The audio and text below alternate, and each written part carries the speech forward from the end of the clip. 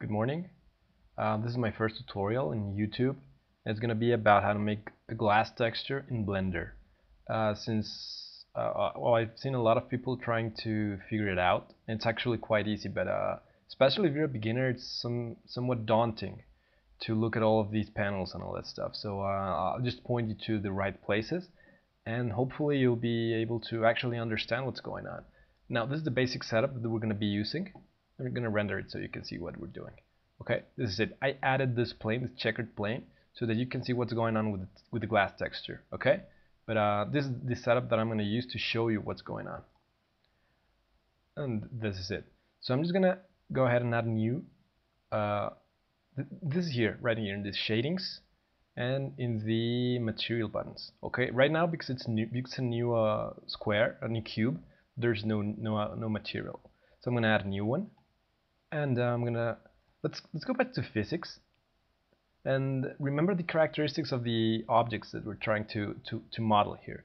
The you know glass has three characteristics that are very important in the visual quality of what what is going on. So first of all is the transparency, which this basically means that the beam of light is going to go through the panel. Okay, this is a this is a solid panel of you know any material, in this case glass.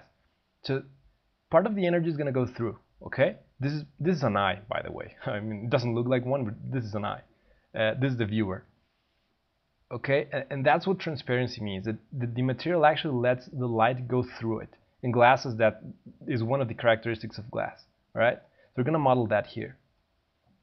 Uh, there are two places you have to move so that you can get the effect. First of all, the alpha. Okay, this is the alpha. Uh, uh, well, the alpha like a channel, like red, green, and blue. You know the basic three colors. There's like a fourth color, and it was used uh, in systems like Super Nintendo stuff like that to sort of uh, simulate transparencies. So the alpha has to be in, in one. It means it's completely opaque, so there's no transparency at all. So I have to move it down to some like I don't know, no whatever. Like I, I, this point three seventeen, and this is how it looks. Of course, it does not look transparent now, okay? Because this is not this is like the color transparency, but we have to make a transparency of the object too. And we're gonna go there. Oh, sorry. Here in these tabs right here, in the mirror transparency, okay this is mirror trans it means mirror transparency we're going to enable the ray transparency okay this is what enables the object to actually let the light go through it okay? I'm to map it to this to the to this sphere as well. Hold on. Just a second. Okay. Which one is it? I think it's that one. All right um, I'm to render this now so, so that you can see what's going on. And uh, of course, it's to take a little longer. You know, the, the more calculations it has to do, it takes longer. So uh, this is it. Now, this is the transparency, okay?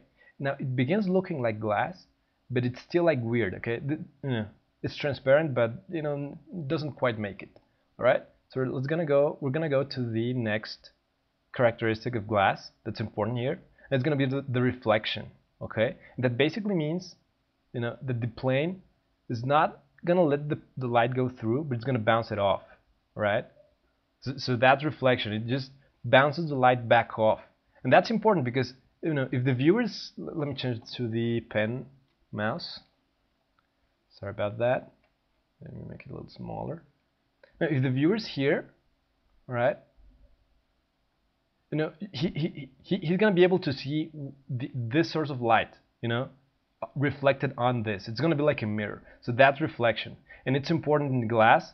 It's not too important because we, we don't actually want it to look like a mirror. We just want to give a little hint of the, you know, reflection. Otherwise, it's going to be like, it's, gonna, it's not going to look nice, okay? I'm just going to, let me go back to the mouse. Got it? Okay, so I'm going to enable it here in the mirror transparency tab this is the ray mirror, all right? So I'm going to enable it, and I'm going to give it a high value, you know, just to show you what's going to go on, what's going to happen, okay? You can see it here, but I'm going to render it so that you can see what's going on. And uh, but this is not what we want, okay? I just wanted to know what's what happens if you move that slider. But you can see this, okay? this is a mirror. This is not glass. This is a mirror, and it actually looks pretty nice. But this is not what we want. Okay, this is just bouncing the light and into the camera. All right, this is bouncing the light from the sky, I guess, into the camera. Okay, that's why it looks blue, and it's bouncing the light of the checkered board back into the camera. All right, like that. So this is not what we want. Okay, I mean, this is not glass. This is a mirror, and uh, even though it looks nice, it's not what we're looking for right now. So go back here, and instead of you know moving the slide all the way here, just just you know clicking here so you can actually punch in the numbers and put something like 0.05 or something like that.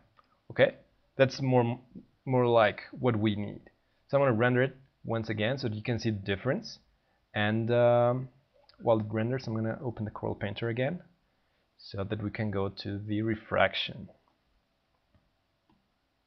Yes, it finished. All right. So that's more like it, okay? I don't like the gray color as well, so I'm going to change it in the, uh, you know, soon. Okay, now refraction basically means, and you know, you know, this is basic physics. I mean, I'm sure you know this, but you know, just to recap what we're doing here, how we do it in Blender. Okay, so it's important for you to know what what what I, what physical characteristics of the material you're modeling in Blender. So that I think that's easier to understand. Well, I hope it's easier to understand. So if it, if it doesn't make any sense for you, uh, well, sorry. I think it does. But uh, uh well, uh, I'm just trying to do it right. I, I want I really want you to understand what's going on. So the refraction is basically, I mean, the prerequisite for refraction is transparency. All right. I mean, light has to be able to go through the material to, to, in order to, to be able to refract it as well. So uh, refraction basically means that it, even though it's transparent, it doesn't go through. The light doesn't just go through, but it goes through at an angle. Okay. You know, I mean, in transparency, it should go like like this, no, like straight up to the viewer. But but but the glass and most of the transparent materials actually refract the light like this. So when it goes through, it changes the angle. Okay. Let's go here. And back here in the mirror transparency, uh, this is this means index of refraction. Okay. Now each material has its own index of refraction. Like you know, real smart people with lab coats and all that stuff, like you know, with the hair all messed up and glasses. You know, you know that kind of. They're like real smart, and this this is actually you know, this can be measured. So uh, so if you really want to be completely accurate, just Google it up, okay? Index of refraction of glass or something like that. And you'll find out it's about 1.52. Oops, sorry. 1.52, okay? I'm gonna render this again. But it's not 1.52, but it's like 1.51728 or something like that. So this is pretty close. And this is the final result.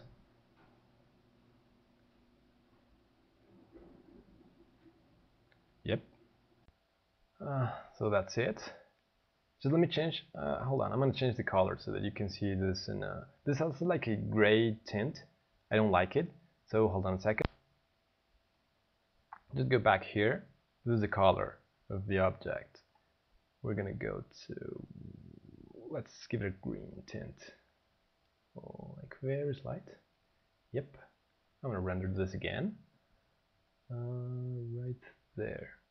So, uh, well, I hope this works for you. I guess this is it. I'm to wrap it up here. And, uh, and uh, go ahead and, uh, you know, request any more tutorials. I'll be glad to help you, you know, using Blender. Learn, learn how to use Blender. And uh, I hope you enjoyed this. And I'll see you later.